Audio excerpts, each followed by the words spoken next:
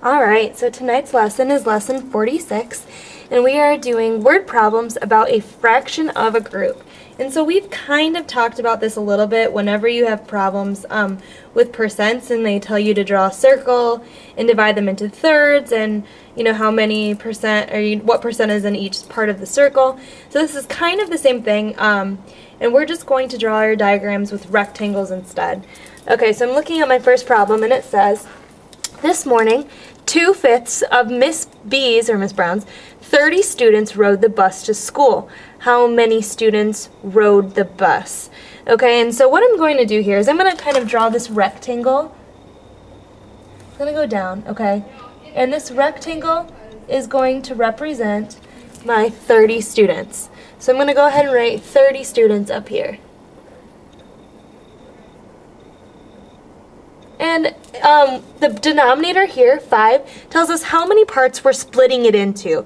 Okay, so I'm going to go ahead and divide my uh, rectangle by 5 pieces. One, two, three, four, five. So remember, your denominator tells you how many pieces it's out of, and your numerator tells you how many pieces you want, okay? So I'm going to take 30 students, and I'm going to divide them evenly into 5 groups, and when you do that, you should quickly get six. Okay, so I know that in each of my small rectangles, I have six. This would be six students. This would be six, and six, and six, and six. And then if you wanted to check it, 6 times 1, 2, 3, 4, 5 is 30. So this represents all of my students. When we break them up into groups of 5, we have 6 in each. And then I'm going to go back to my question, and it says this morning, 2 fifths of the 30 students rode the bus. How many students rode the bus? So I'm going to take one and I'm going to take two of my, of my sections. So I have 6 plus 6. When I add those two sections together, I get 12. So my answer, okay, would be 12 students rode the bus. So 12 students. Now, if it were to say how many students did not ride the bus, you know, I could take 6 plus 6 plus 6 and get 18 over here um, if the question was asking the other way. Alright, and we're going to try the next one. And it says, Nick scored two-thirds of his team's 36 points. How many points did he score? Okay, so kind of like we did before. Let's make a rectangle. Kind of like this. Alright, I'm going to write up here 36, just so I remember what I'm out of. And I'm going to, again, look at my denominator. It's a 3, so we're out of 3 sections, okay? Now I'm going to go over here to my side. I'm going to take 36, and I'm going to divide it by 3, because I have my 36 divided by 3. 3 goes into 3 once. 1 times 3 minus 0. Bring down your 6, goes in twice. 6, 0. Okay, so 12. So 12 points here, 12 points here, 12 points here. And then the question, it says, how many points did he score? Well, if we look at the top, how many sections of our 12 do we want? We want two. So I'm going to take a 12. I'm going to take a 12. I'm going to add them together. When I add them together, I get 24 points.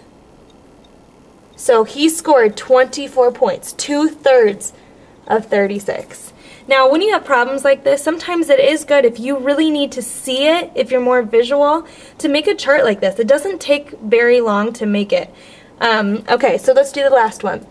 Eva's dog ate one-fourth of a dozen dog bones. How many dog bones were left?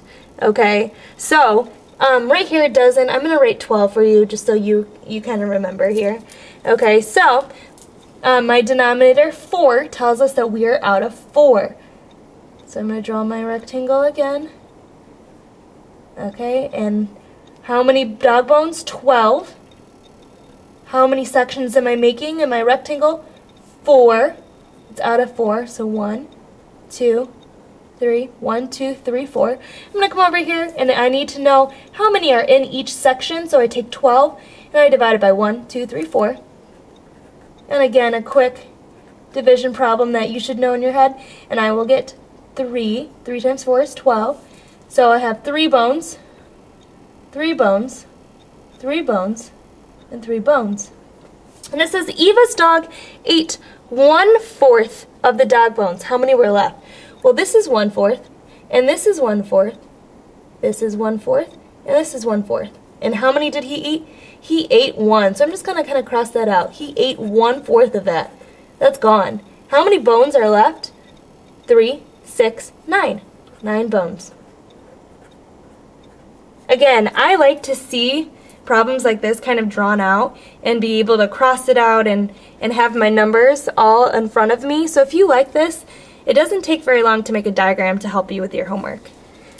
Alright, and here is your lesson practice. Now, I wrote you kind of a note. Yes, you must write the problem down. So write this problem down, and I want you to do a diagram like we did for the other problems.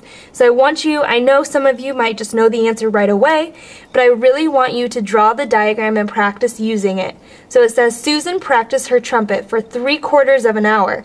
How many minutes did Susan practice? Draw a diagram um, and explain. You don't have to explain, but draw a diagram and give me your answer. Um, three quarters, remember you're going to divide that into fourths, and then you want three pieces.